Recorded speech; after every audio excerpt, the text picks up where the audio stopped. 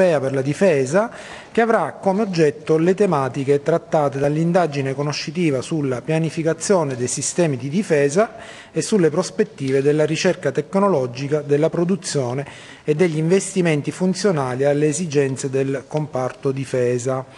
Avverto che la pubblicità dei lavori sarà assicurata anche attraverso la trasmissione televisiva sul canale satellitare eh, nonché sulla web tv della Camera dei Deputati. Saluto e do il benvenuto al direttore esecutivo dell'Agenzia Europea per la Difesa, l'onorevole Iri Sedievi, eh, ringraziandolo per la partecipazione ai lavori della Commissione.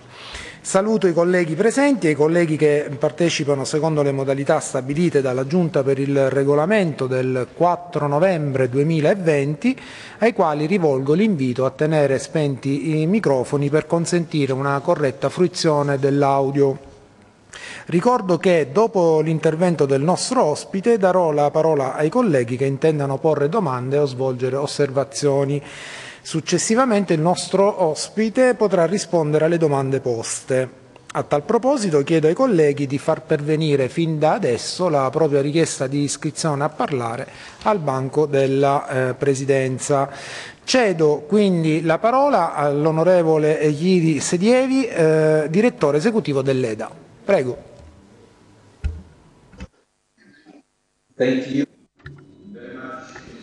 Grazie mille signor Presidente, e buon pomeriggio ai membri della Commissione Difesa della Camera dei Deputati italiana. Per me è davvero un privilegio potermi rivolgere a voi oggi.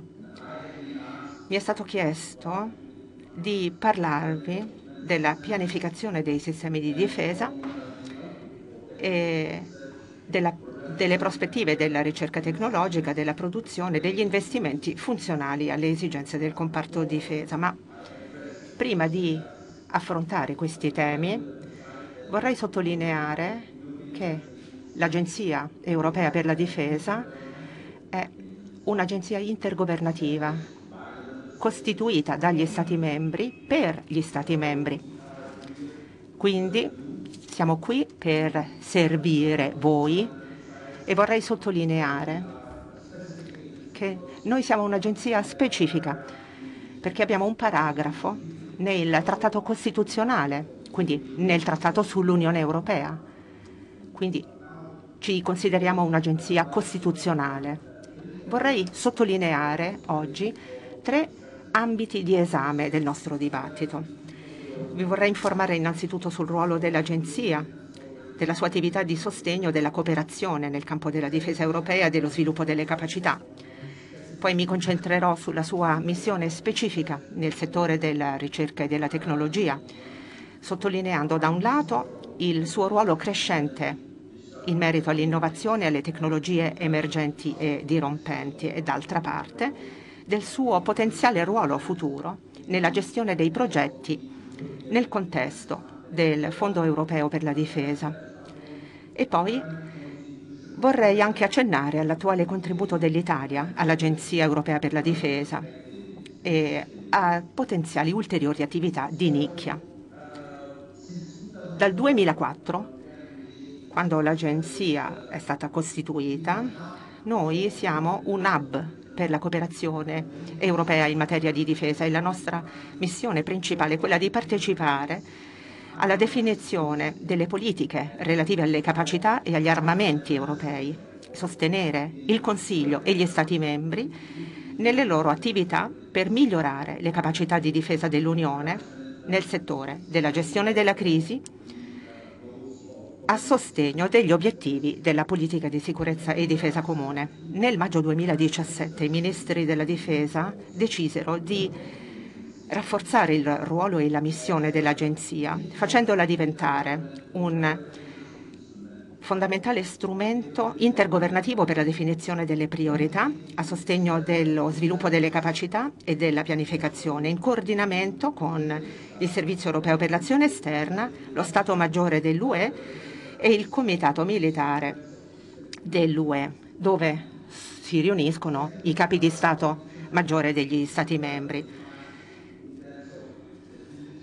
Noi dobbiamo, e siamo stati creati, siamo stati costituiti per essere la sede di cooperazione e la struttura di supporto gestionale per gli Stati membri che partecipano alla nostra agenzia per lo sviluppo di progetti tecnologici e di sviluppo delle capacità. Il nostro ruolo è cresciuto, siamo adesso facilitatori e catalizzatori per i ministeri della difesa per l'elaborazione di politiche europee più ampie. Per poter attuare questa missione, l'Agenzia funge, diciamo, da garante della coerenza delle iniziative europee per la difesa. Noi coordiniamo la revisione del piano di sviluppo delle capacità e qui in questo contesto gli Stati membri definiscono le loro priorità per le capacità future.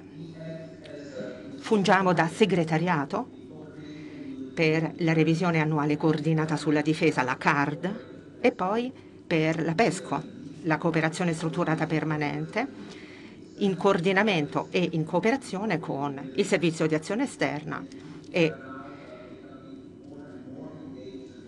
il, le autorità militari dell'UE.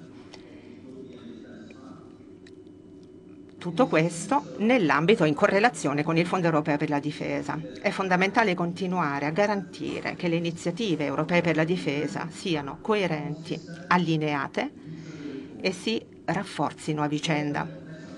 Lo sviluppo di capacità nazionali per la difesa e gli stati, e mi riferisco a quegli stati membri che sono anche membri della Nato, e che contano su un unico serbatoio di capacità militari, questo sviluppo è soggetto ai rispettivi processi nazionali di pianificazione della difesa e ai rispettivi processi decisionali in ciascuno Stato membro. Tuttavia, lavoriamo per fornire agli Stati membri gli strumenti europei che consentano di migliorare la cooperazione europea in, maniera, in materia di difesa sviluppando insieme in modo collaborativo capacità e tecnologie in piena integrazione con la Nato con l'obiettivo di perseguire l'autonomia strategica europea. Il successo di questi, di questi strumenti dipenderà dal livello di coerenza con il quale saranno messi in atto e dalla portata attraverso la quale saranno integrati e utilizzati dagli Stati membri per la loro pianificazione nazionale in materia di difesa. Vi fornisco alcune altre informazioni più dettagliate. La nostra agenzia contribuisce a garantire che tutte le attività collaborative si concentrino sulle priorità europee concordate in materia di capacità e producano risultati tangibili, capacità di alto livello ad ampio spettro.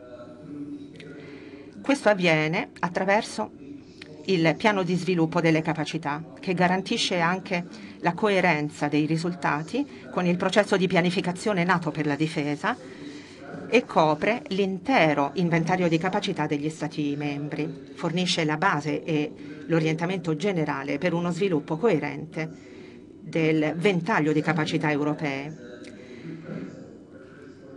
fungendo quindi da punto di riferimento da strumento guida per la CARD, la revisione annuale coordinata, la PESCO e il Fondo per la difesa. Gli obiettivi individuati da ciascuno Stato membro nel piano di sviluppo delle capacità vengono canalizzati attraverso le varie iniziative. Abbiamo la CARD, la revisione annuale coordinata sulla difesa, che fornisce un quadro ampio del, dello scenario europeo per la difesa, facilita l'individuazione di opportunità di collaborazione organizzate in sei focus areas, ambiti principali, carri armati da battaglia di prossima generazione, sistemi soldato, natanti di superficie di classe di motovedette, sistemi di contrasto dei sistemi aerei senza pilota, applicazioni della difesa nello spazio e rafforzamento della mobilità militare, quindi sei ambiti principali. Le priorità restano però quelle definite nel piano di sviluppo delle capacità. Poi abbiamo la PESCO, la struttura di cooperazione rafforzata, che sostiene la pianificazione comune e l'attuazione dei progetti in un contesto vincolante. Da ultimo, il, parliamo del sostegno finanziario. Abbiamo a tal proposito il Fondo europeo per la difesa, il cui compito è quello di rafforzare la competitività e la capacità innovativa della base tecnologica e industriale di difesa europea e di TB, finanziando la ricerca cooperativa e iniziative di sviluppo di nuovi prodotti e tecnologie in materia di difesa. In questo quadro di iniziative nuove, ma ormai ben avviate, la bussola strategica, un tema di cui si parla molto tra gli Stati membri, speriamo attraverso questa bussola strategica di fornire l'orientamento politico necessario per lavorare in quattro ambiti, resilienza, gestione delle crisi, capacità e partenariati. E ciò ci consentirà di capire cosa deve essere raggiunto e conseguito dall'UE e dagli Stati membri in termini di capacità e di soddisfare il livello di ambizione definito dall'Unione Europea e sviluppare le necessarie capacità di alto livello, con un pacchetto di forze coerente che copra tutto lo spettro. So che la vostra indagine conoscitiva si occupa delle prospettive anche per la ricerca e la tecnologia in materia di difesa e vi descrivo il lavoro dell'Agenzia in questo ambito. Il nostro portfolio in materia di ricerca e tecnologia registra il quarto anno di crescita significativa, con un nuovo record sia nel numero di accordi firmati, sia per il valore complessivo dei progetti. Nel 2020 l'anno scorso, la nostra Agenzia Europea per la Difesa ha firmato 18 nuovi progetti ad hoc per la ricerca e la tecnologia per un valore complessivo di 79 milioni di euro. Il nostro portfolio di ricerca e tecnologia prevede attualmente 46 progetti ad hoc in esecuzione per un valore complessivo di circa 290 milioni di euro. In questo contesto è fondamentale sottolineare il valore aggiunto fornito dalla cosiddetta agenda strategica di ricerca onnicomprensiva, la cosiddetta OSRA, che fornisce una gamma consolidata e ampia di priorità in materia di ricerca e tecnologia a livello europeo. Le agende strategiche di ricerca tematiche, insieme ai blocchi tecnologici e a delle specifiche roadmap per lo sviluppo di tecnologie concordate dagli Stati membri partecipanti vengono utilizzati per orientare le decisioni relative ai finanziamenti nel contesto del Fondo europeo per la difesa. Quindi questo è un quadro che descrive i diversi approcci, le modalità diverse attraverso le quali portiamo avanti la realizzazione delle priorità stabilite dagli Stati membri nei piani di sviluppo delle capacità attraverso le varie iniziative. Brevemente parlo del ruolo dell'Agenzia a sostegno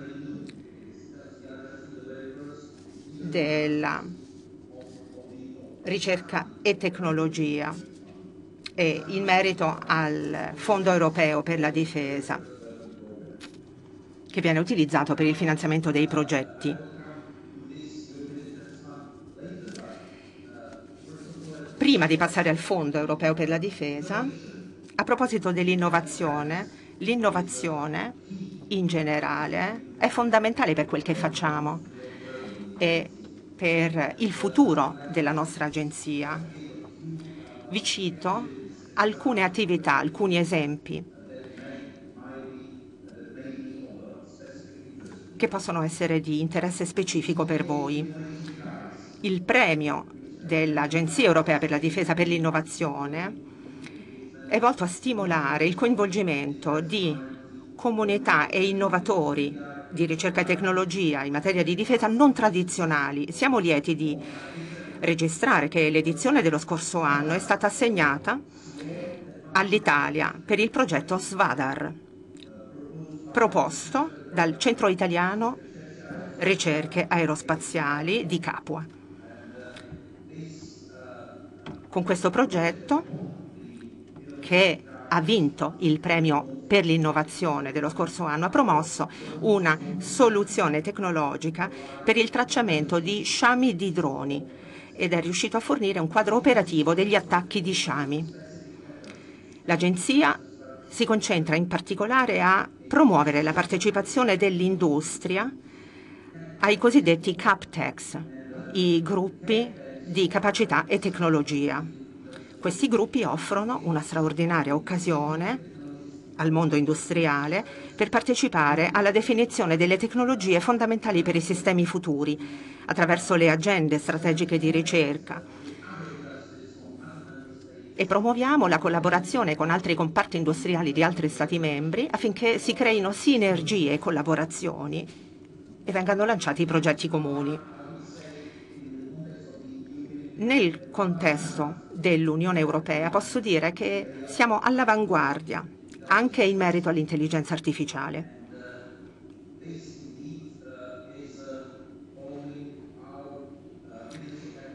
E questo si ricollega al nostro lavoro iniziale che si è concentrato sull'iniziativa intelligenza artificiale nella difesa, che ha previsto la definizione di standard comuni di una tassonomia, di un glossario comune in merito all'intelligenza artificiale.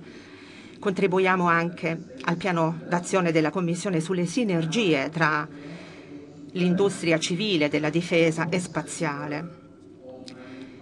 Dopo il lancio del piano d'azione e il riconoscimento del nostro lavoro consolidato in materia di sinergie tra questi settori, la Commissione ha invitato la nostra agenzia a partecipare a delle squadre specifiche dedicate all'attuazione delle 14 azioni elaborate per i settori industriali civile della difesa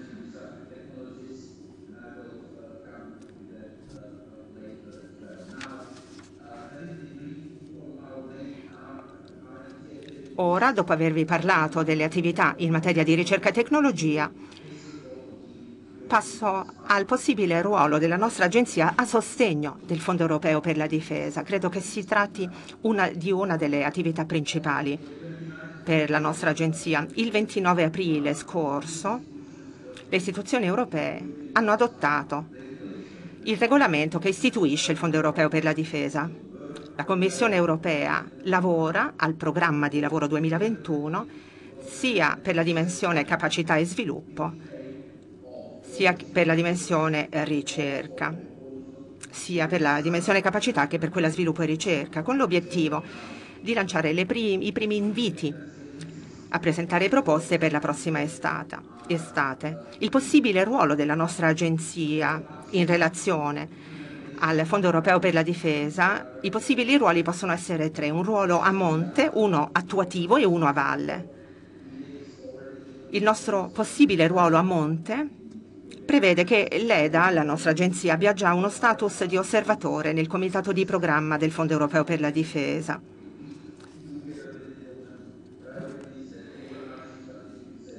La nostra agenzia fornisce il proprio parere sulla base delle priorità per lo sviluppo di capacità dell'Unione Europea, delle priorità dell'OSRA, ma anche in merito a seguito degli esiti della revisione CARD e delle attività nell'ambito della PESCO. Quindi tutto questo per quanto riguarda invece il nostro ruolo per l'attuazione dei progetti, sosteniamo in linea di massima possiamo fornire sostegno in tre fasi diverse dell'attuazione. Possiamo svolgere un ruolo di gestione dei progetti su incarico degli Stati membri e la nostra agenzia in questo caso può fungere da project manager su richiesta degli Stati membri. Poi possiamo avere un ruolo di gestione indiretta dei progetti e poi un ruolo di consulenza e amministrativo su richiesta degli Stati membri partecipanti.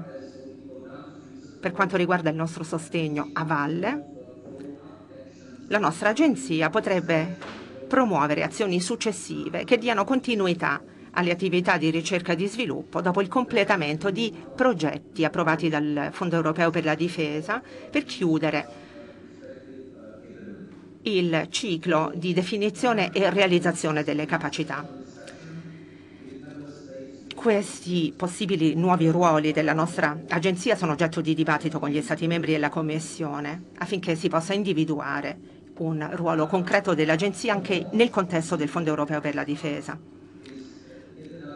Il lancio del Fondo europeo per la difesa è solo un'altra conferma del crescente ruolo della tecnologia in un momento di in un momento decisivo per il nostro futuro. Abbiamo settori come l'intelligenza artificiale, i big data, la robotica, sistemi autonomi, le biotecnologie per il potenziamento umano, le armi a energia diretta o nuovi materiali avanzati. Queste aree sono caratterizzate spesso da una natura duale ed ha un impatto sia sull'area civile che su quella militare.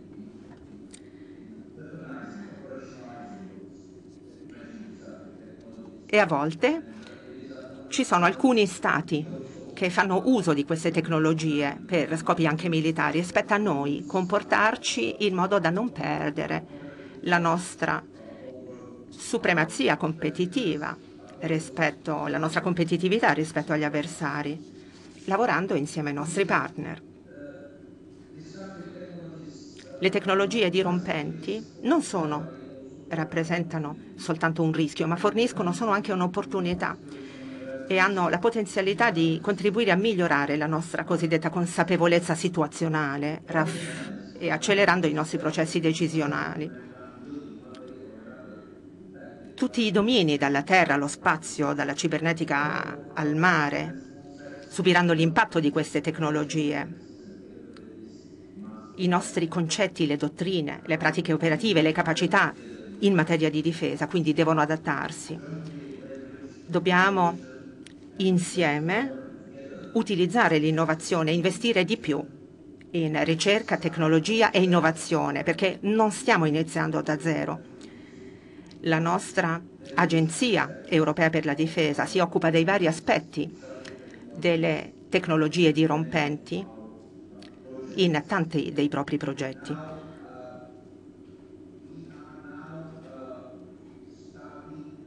Ora ci prepariamo per il lancio di un, per il lancio di un piano d'azione per le tecnologie emergenti e dirompenti, attraverso il quale monitori, monitoreremo fuori e dentro l'Europa le, le ultime tendenze in questo ambito e riusciremo a individuare ed esplorare nuove opportunità di collaborazione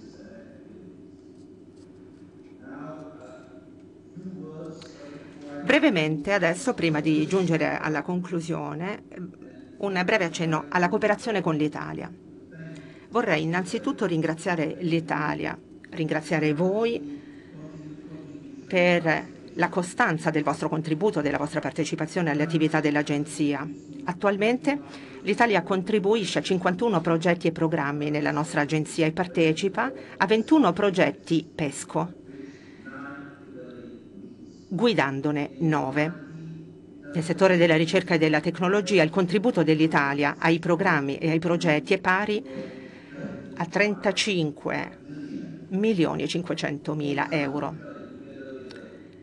Per esempio l'Italia insieme alla Repubblica Ceca, il mio paese d'origine, nel 2018 ha firmato un accordo per un progetto chiamato ALBA, Advanced Light Ballistic Protections, che deve essere utilizzato per la protezione eh, balistica a veicoli corazzati medi e leggeri per quanto riguarda il finanziamento di progetti di collaborazione per la capacità di difesa e la ricerca, vorrei ricordarvi che noi aspettiamo ancora che l'Italia decida di firmare o di non firmare il meccanismo finanziario cooperativo. elaborato e creato insieme alla Banca Mondiale degli Investimenti che punta a ridurre i problemi di sincronizzazione dei bilanci per i progetti di collaborazione. Per quanto riguarda la revisione annuale CARD, con il nostro dialogo bilaterale con il direttore per le politiche della difesa generale Iannucci, anche grazie all'intervento del ministro Guerini, all'ultimo Consiglio per la difesa dello scorso 6 maggio abbiamo capito che l'Italia è interessata in particolare alle EPC2S, ai, al progetto europeo di navi da superficie della classe motovedette e, e a progetti relativi al contrasto ai sistemi senza piloti e antiaccesso e negazione d'aria, due ambiti ai quali l'Italia è particolarmente interessata.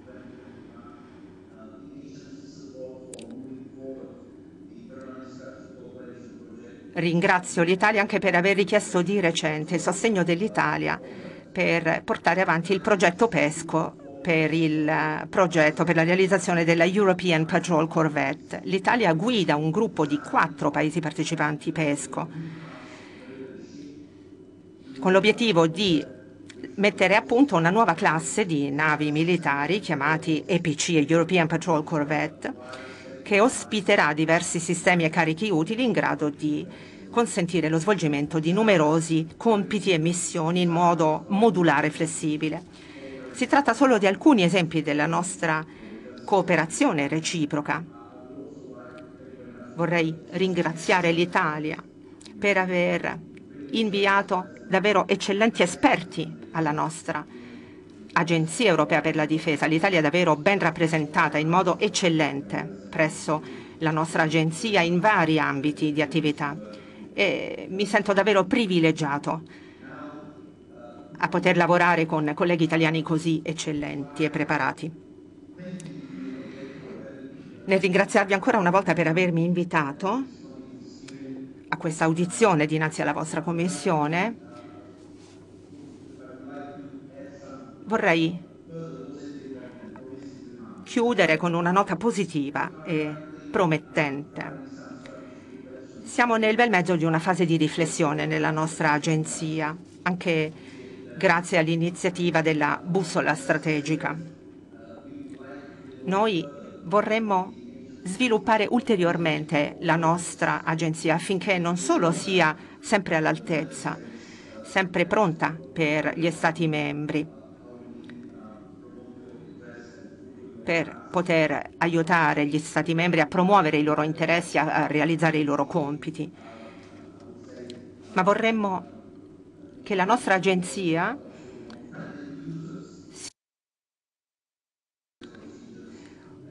fruibile da parte degli Stati membri in termini di procedure di assistenza e di supporto.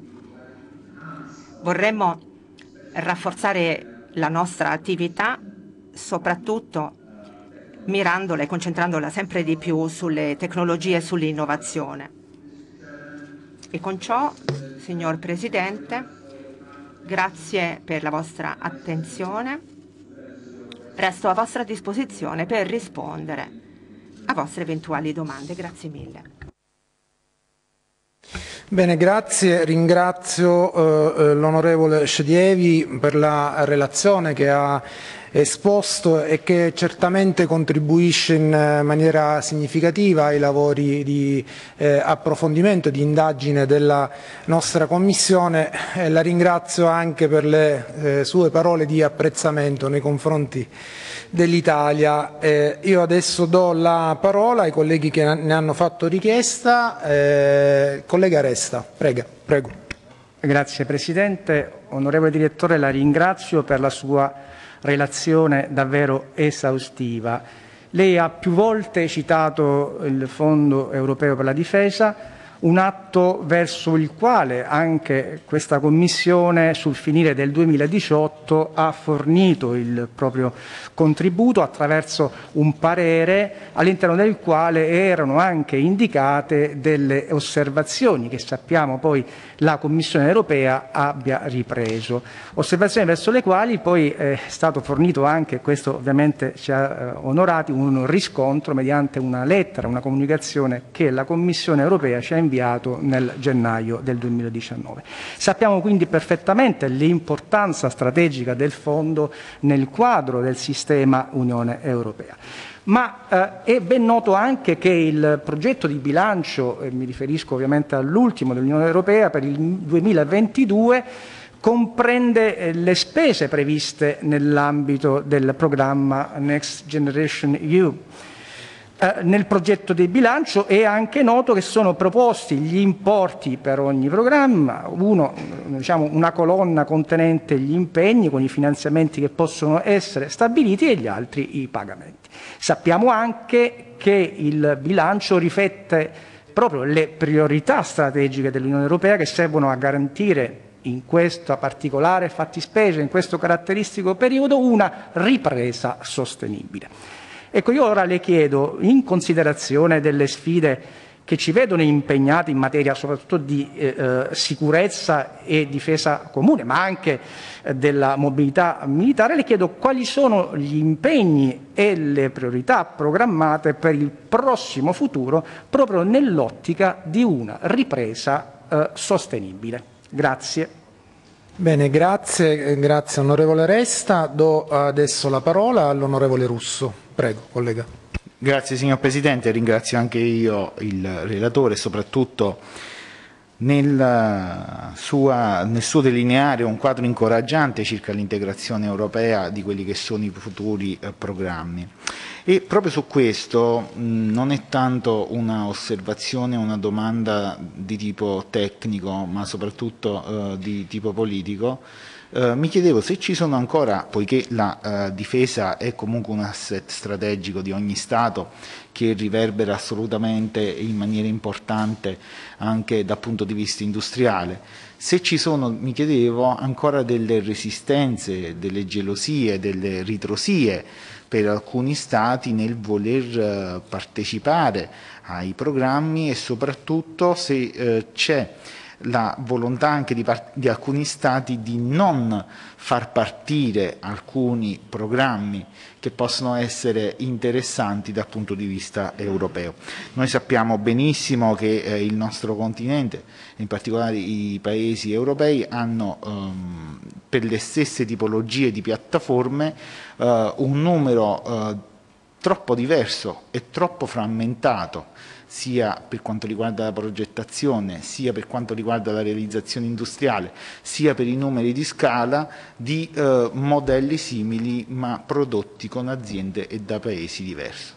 Sicuramente la maggiore integrazione che i programmi europei, europei intendono eh, realizzare comportano un efficientamento delle risorse, una maggiore produzione di scala, ovviamente un abbattimento dei costi e soprattutto un mantenimento di una sovranità tecnologica di tipo europeo affinché non si vada a dipendere eh, da altri eh, stati anche insomma, al di fuori dell'Unione Europea. L'esempio più lampante è quello del caccia di quinta generazione. Molti eh, paesi europei si sono poi affidati all'F-35 americano. Insomma, colgo nelle sue parole una, un entusiasmo e anche un quadro finalmente positivo e eh, mi auguro, riprendendo anche la richiesta avanzata prima dal collega Aresta, di sapere quali sono gli scenari che si prospettano affinché ci sia anche una maggiore eh, cooperazione di integrazione europea in, nel, nei termini dell'industria della difesa. Grazie. Grazie onorevole Russo. Ha chiesto di intervenire l'onorevole Tondo. Prego. Grazie Presidente. Io come i colleghi precedentemente ringrazio eh, l'esposizione molto chiara che ci è stata fatta e mi concentrerei su una singola domanda specifica che parte da eh, due origini di valutazioni. La prima il fatto che l'Europa, Italia e Francia in particolare, ma anche il Regno Unito, che non fa più parte della, del sistema europeo, hanno comunque una storia nella cantieristica significativa. Noi abbiamo costruito navi per tutto il mondo. La seconda è il tema del Mediterraneo, che è al centro della quotidiana azione politica di tanti governi. La domanda è questa, abbiamo mai pensato o preso in considerazione o è possibile pensare di realizzare una nave ospedale che sia a disposizione nel Mediterraneo per tutti gli elementi di crisi che potessero eh, presentarsi. Penso ad esempio a ciò che è accaduto a Beirut alcuni mesi fa, una nave ospedale nel Mediterraneo sarebbe stato utile, penso al fatto del Covid che avrebbe potuto essere a largo una, appunto, una nave ospedale di qualche porto con particolare crisi, penso a coloro i quali sono abbandonati in mare.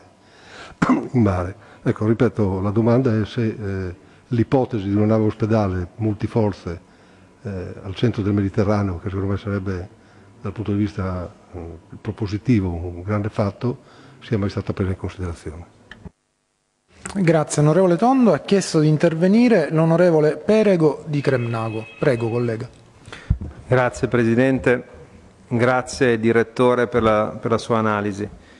La sua analisi che tra l'altro si inserisce in un contesto politico eh, dire, molto attinente, viste le dichiarazioni eh, del Presidente Biden di qualche giorno fa sull'opportunità eh, dell'Europa di eh, accompagnare gli Stati Uniti dotandosi di una forza militare europea eh, diciamo di contrasto e di deterrenza rispetto alla eh, Cina e la Russia. Credo che l'industria della difesa europea e le industrie quindi nazionali stiano facendo passi avanti. Ne è un esempio il, la prossima imminente eh, acquisizione fusione di Fincantieri con Thyssen per la produzione dei sottomarini e quindi il rafforzamento in questo caso dell'asse italo-tedesca, ma l'opportunità eh, di eh, mettere a regime, diciamo, a campione europeo le nostre industrie, le industrie nazionali italiane e quelle degli altri paesi, credo che sia una necessità se pensiamo e se vogliamo competere eh, con, le industrie, eh, con, le industrie, cinesi eh, che possono contare ingenti investimenti oltre che una manodopera eh, importante a basso costo. E quindi la, la, domanda che le pongo è se lei pensa che queste dichiarazioni del Presidente Biden anche, eh, possano anche stimolare, anche se poi ci sono state alcune eh, diciamo, elementi di criticità esposte dal Presidente Merkel, ehm, sulla, sulla, creazione di una, un organismo, diciamo, sul rafforzamento della difesa europea, quindi di una forza militare europea, se lei quindi crede che queste eh, dichiarazioni possano facilitare questo percorso che è eh, cruciale per la sopravvivenza delle industrie della difesa nazionale. Grazie. Bene, grazie a lei collega. Io non ho altre richieste, pertanto eh, do la parola al nostro ospite per la replica. Prego. Uh, thank you. Thank you. Grazie, grazie infinite eh, per tutte queste domande. Comincerei dall'ultima, magari. Certo, non sta a me eh, commentare quanto detto dal Presidente Biden, ma in linea di massima direi che eh,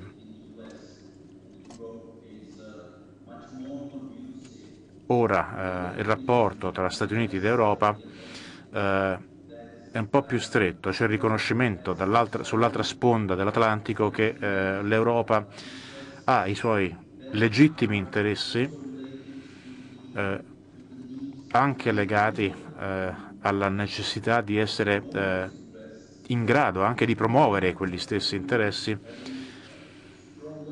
anche eh, attraverso delle capacità più forti eh, e più autonome, eh, anche puntando eh, appunto all'autonomia strategica. La cosa importante da notare è che la nuova amministrazione statunitense, da quello che so, eh, capisce questa nozione del, di autonomia strategica in modo costruttivo, in modo positivo, quindi non come qualcosa da vedere come contrario agli interessi statunitensi, ma anzi come qualcosa che darebbe eh, all'Europa eh, un maggior livello di capacità di proteggere i nostri cittadini in modo autonomo, quindi per poter anche promuovere i nostri interessi in modo autonomo, eh, soprattutto eh, nelle periferie più esterne e soprattutto in quelle aree eh, nelle quali possiamo aspettarci eh, sempre più problemi, il Mediterraneo, eh, il Nord Africa, il Medio Oriente, il Sahel. E questo è un bene. E credo eh, che presto appunto ci sarà un vertice tra eh, l'Unione Europea e gli Stati Uniti.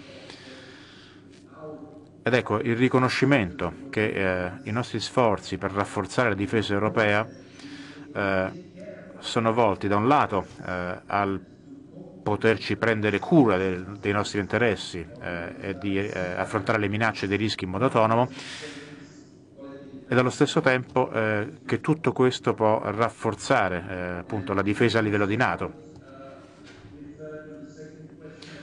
E vengo qui alla seconda domanda riguardante eh, gli scenari del futuro. Ecco, qualunque cosa, qualunque cosa, facciamo adesso, qualunque cosa cominciamo a fare a livello di pianificazione delle nostre capacità e lo sviluppo delle capacità è una maratona, non è uno sprint, è una cosa da eh, cominciare adesso con la pianificazione per poter avere risultati tra 10-15 anni. Ecco, dobbiamo essere ambiziosi e allo stesso tempo dobbiamo chiaramente fissarci gli obiettivi giusti, eh, che abbiano gli effetti giusti. E quindi noi dobbiamo pensare, dobbiamo cercare di prevedere eh, dove saremo nel 2030, nel 2035 a livello del eh, contesto generale legato alla difesa. E temo che eh, appunto nel 2035 le minacce intorno a noi saranno più serie, eh, più pericolose, il mondo sarà più pericoloso di quanto non sia oggi. L'Europa sarà circondata, eh, soprattutto eh, alla periferia sud, sarà circondata da più instabilità, da stati falliti, da terrorismo. L'impatto dei cambiamenti climatici eh, in quell'anno eh, avrà eh, degli effetti enormi anche sulla eh, questione migratoria che si unisce poi chiaramente alla questione demografica. Ci saranno nuove tecnologie che saranno sempre più accessibili anche per gli attori non statali, quindi dovremmo far fronte a tutto questo considerando anche un altro fattore che sarà essenziale appunto nel 2030-2035. Mi riferisco al fatto che inevitabilmente gli Stati Uniti saranno più coinvolti nell'area dell'Asia-Pacifico, eh, caso della Cina. Gli Stati Uniti saranno eh, presenti nella Nato, chiaramente per quanto riguarda la difesa collettiva dell'Europa, ma allo stesso tempo eh, gli americani si aspetteranno eh, una maggior capacità, una maggior autonomia europea eh, per quanto riguarda i nostri interessi regionali. Questo è un punto importante da considerare e dovremmo ambire a questo, dovremmo ambire a questa autonomia eh, non solo a livello decisionale, ma dovremmo anche ambire eh, all'autonomia eh, legata alle capacità autonome e alla, no e alla nostra possibilità di usarle queste capacità. Quindi essere più autonomi significa essere meno dipendenti eh, anche a livello industriale. Ed è proprio questo che stiamo cercando di avviare con tutte queste iniziative e il Fondo eh, europeo per la difesa è importantissimo perché fornisce qualcosa di realmente unico eh, che non è presente nella pianificazione NATO, nello sviluppo di capacità NATO. È un fondo che fornisce appunto finanziamenti, che funge da stimolo eh, anche per la collaborazione.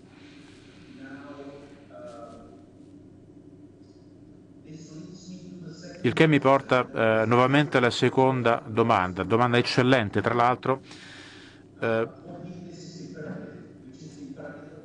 che riguarda eh, un imperativo, e cioè l'inclusività.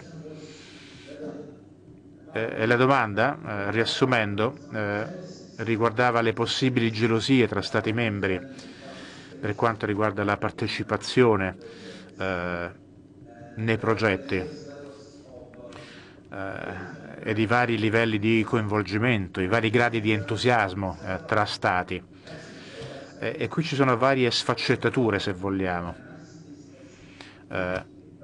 primo, e questo è davvero eh, l'imperativo eh, più importante, dobbiamo essere più inclusivi, eh, nel senso che eh, vanno date pari opportunità eh, senza discriminare eh, a tutti gli attori, a tutti i protagonisti, anche basandoci sul merito chiaramente, ma faccio riferimento alle piccole imprese, alle medie imprese e anche a quelle eh, più grandi presenti in tutti gli stati, quelli più grandi, quelli più piccoli e quelli medi. E questo è importantissimo eh, ed è quello che facciamo anche nella nostra agenzia. Noi forniamo eh, piattaforme alle industrie affinché possano inserirsi appunto eh, nel mercato, in questo gioco, se vogliamo, sostenendole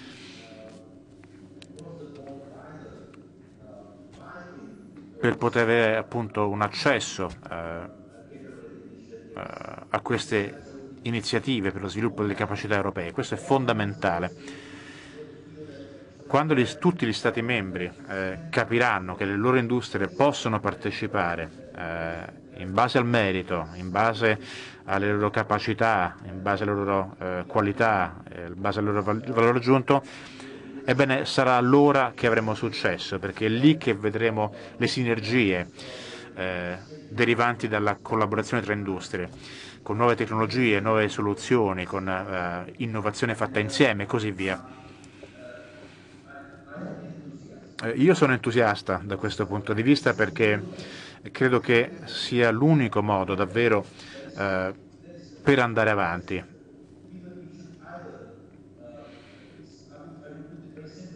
Ehm, molto banalmente eh, o eh, difesa e innovazione vanno insieme oppure eh, la difesa diventerà irrilevante, è, è, molto semplice il concetto. Quindi ora, l'anno prossimo, quando lanceremo i primi progetti, sarà quindi adesso e tra un anno che dobbiamo eh, darci quella spinta eh, necessaria, dobbiamo essere inclusivi per coinvolgere quegli Stati membri che sono un po' riluttanti. E, eh, certamente eh, diversi Stati membri, eh, soprattutto dell'area eh, dell'Europa centrale ed orientale, i nuovi membri dell'Unione Europea, i nuovi membri della Nato, vedono la loro casa principale, se vogliamo, nella Nato, le loro capacità di sviluppo le vedono soprattutto legate al loro interesse nazionale con la Nato, in un certo senso anche con l'Unione Europea. Ecco, sta a noi convincere quegli Stati un po' più riluttanti eh, eh, soltanto appunto includendoli, includendo le loro industrie, eh, dimostrando loro che si tratta di una situazione win-win, quindi utile per tutti, eh, dimostrando loro che eh, possono avere successo, eh, certamente includendo le loro industrie nei vari cluster, come già stanno facendo in ambito CARD. e come sta facendo anche in ambito del Fondo europeo per la difesa. Ecco, sarà questo il modo per eh, coinvolgere eh,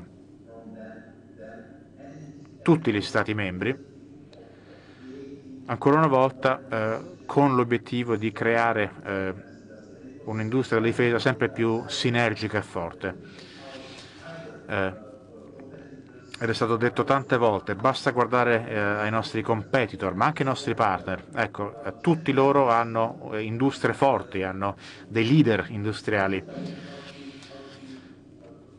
È l'unico modo per poter essere competitivi, per, essere, eh, per, avere una certa interoperabilità con i nostri partner, soprattutto gli Stati Uniti, eh, e per essere all'avanguardia eh, ed essere avanti rispetto ai nostri competitor appunto è solo collaborando tra di noi. Eh, e qualunque attività eh, che porta ad esempio alla fusione che avete citato eh, è, è, il modo per procedere. E poi c'era anche un'altra ottima domanda, eh, eh, e cioè se dobbiamo creare una sorta di, eh, di, di ospedale, una nave ospedale eh, per il Mediterraneo. Eh, è un'idea eccellente, devo dire. Eh,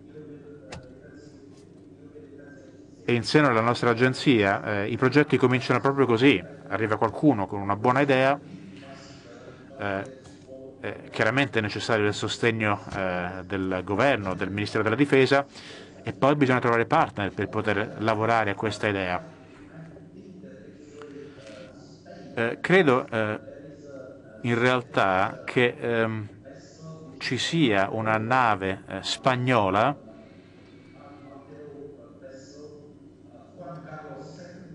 la Juan Carlos II, eh, è il nome della nave se non sbaglio,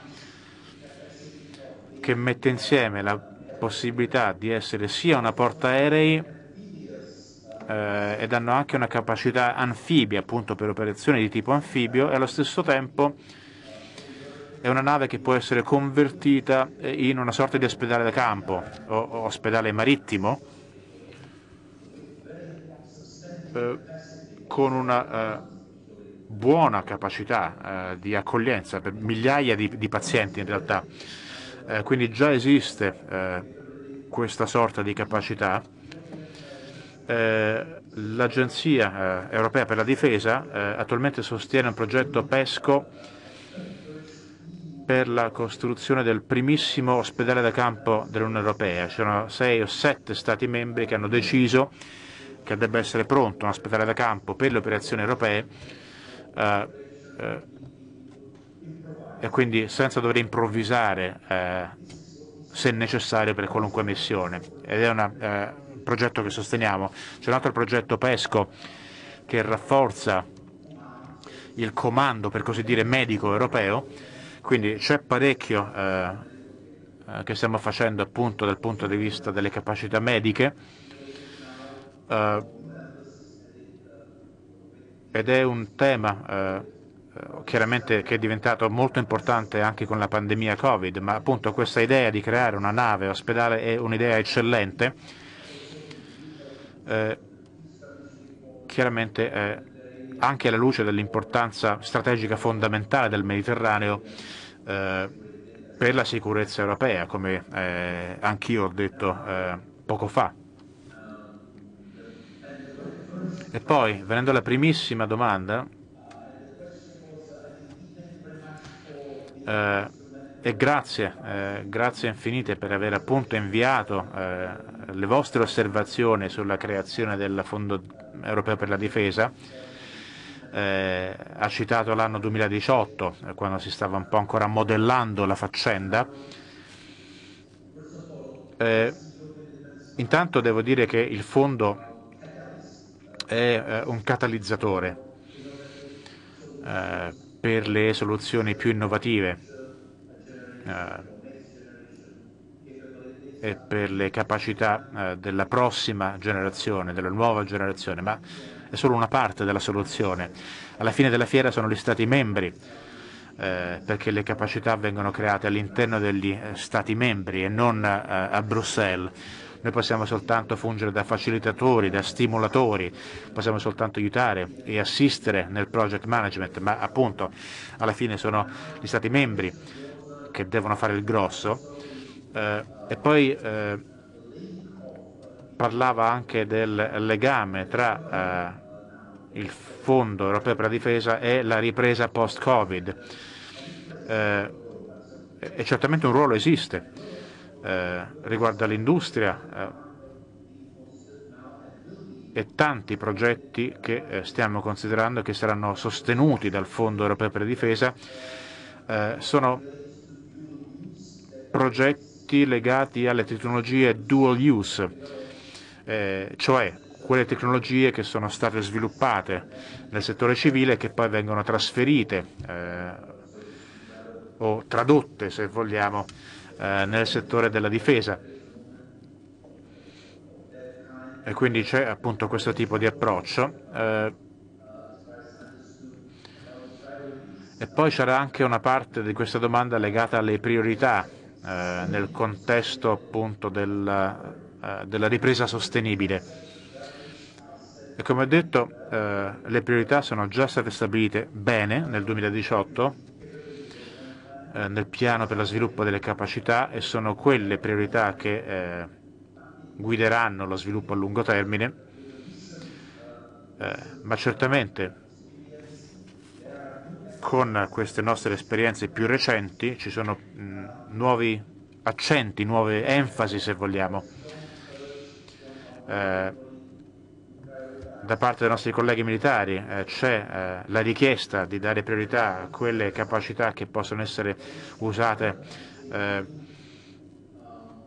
nelle, nelle, missioni, se vogliamo. Eh, c'è una nuova tendenza nel eh, sviluppo delle capacità legato appunto alla cosiddetta green defense, la difesa green, eh, ecologica, e c'è molto da, da, fare per migliorare dal punto di vista ecologico, magari fornendo energia smart, eh, soluzioni energetiche intelligenti, magari per eh, gli accampamenti militari, per i quartieri generali, per le operazioni. Ad esempio,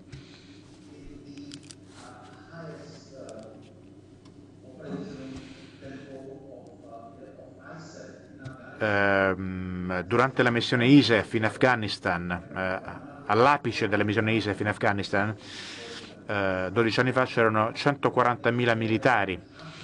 Eh, immaginerete quindi che ogni anno eh, venivano bruciate eh, centinaia di migliaia di tonnellate di combustibili. L'80% del gas bruciato in Afghanistan non è stato per i veicoli, per gli aeroplani, eh, era soltanto necessario per gestire le basi militari, quindi vedete che si tratta di, una, eh, di un tema ambientale enorme, con enormi implicazioni danni ambientali eh, anche a livello di emissioni di CO2. Eh, eh, la Nato eh, sta puntando molto sulla, sulla difesa green, sull'economia circolare, lo stiamo facendo anche noi e anche qui eh, torniamo alle tecnologie che hanno questo uh, utilizzo duplice, che partono dal settore civile, vengono trasferiti nel settore della difesa eh, e che possono quindi aiutarci eh, ad avere una ripresa sostenibile dopo il Covid. Eh, e poi